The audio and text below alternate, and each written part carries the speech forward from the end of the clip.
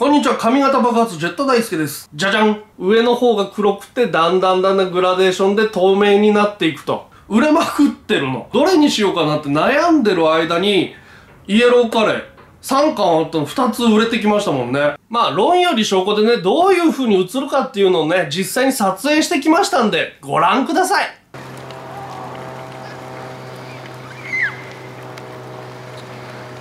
まあ昔はね、フォトショップとかなかったんで、でこれ茶碗に1杯分ぐらいだって言いましたけども、その名もツインパックライス。うーんこれで茶碗1杯分ぐらい。1杯、1杯ですね。えー、こういうグラデーションのフィルターを使ってね、1食150円ですか。ちょうど稲葉のタイカレーね、ぴったりぐらいじゃないかなと。ブルーとオレンジ。ブルーはこんな具合になってますね。こっちはね、カレーに使うとして、もう一つこっちを何に、オレンジのはこういう色です。濃いね。赤っぽいね。じゃじゃん鶏そぼろとバジルですね。タイガパオ。ガパオができるわけですよ。まあ、本当はね、夕方に使った方がいいですね、これは。じゃあ、こちらと、チキンとタイカレー一緒に食べてみたいと思います。あとね、紅葉を撮影するときなんかもよろしいんじゃないでしょうかね。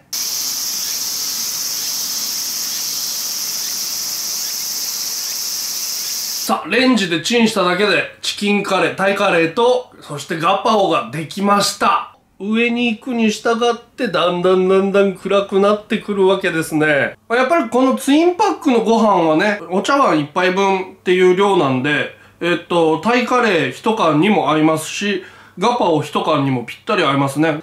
まあ今でもね、撮影の時点でこういうのがあれば、露出はね、カチッと合わせることができますんで、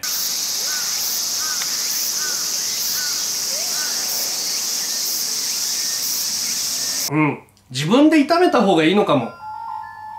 あ、お風呂沸いた。じゃあね、バイバーイ。